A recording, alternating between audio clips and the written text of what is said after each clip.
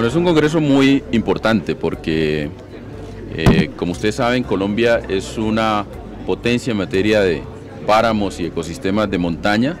El 50% de los páramos del mundo están en, este, eh, en el país. Este es, es una, una eh, enorme um, riqueza que tiene. Y precisamente en ese contexto, esta fábrica de agua necesita su protección. Nosotros hemos avanzado mucho. De los 37 eh, complejos de páramos que tiene el país, ya hemos delimitado 24. Eh, ah, esta semana vamos a delimitar el páramo eh, del complejo de Cruz Verde Sumapaz, que es muy importante en el contexto del postconflicto. Y este congreso realmente nos, nos, nos da la oportunidad de conocer la experiencia internacional de cómo conservar aún mejor estos, ecosistemas, pero que sirvan de base social, económica y ambiental para que las poblaciones que están en los páramos puedan realmente ser compensadas por el servicio que prestan y puedan recibir ah, ingresos que les permitan una vida digna.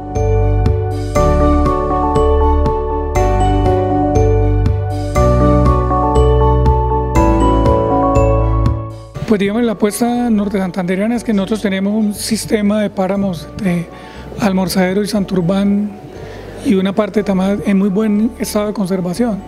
Eh, pero hay una normatividad nacional que puede generar un conflicto social. Entonces la, la gran apuesta es que nosotros tenemos un ejercicio de planificación predio a predio que nos permite tomar insumos para saber cuál es el impacto social, económico y también cuáles son los requerimientos de restauración y las zonas de protección.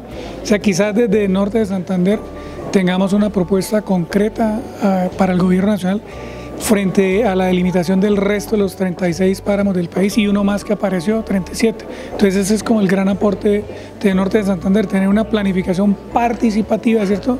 En donde las comunidades y los líderes regionales son conscientes de la necesidad de proteger este territorio, pero también de la necesidad de, asumir los compromisos sociales y económicos que implica y mantener la gente en el páramo con sistemas productivos más amigables ambientalmente posible para que se integren a la conservación.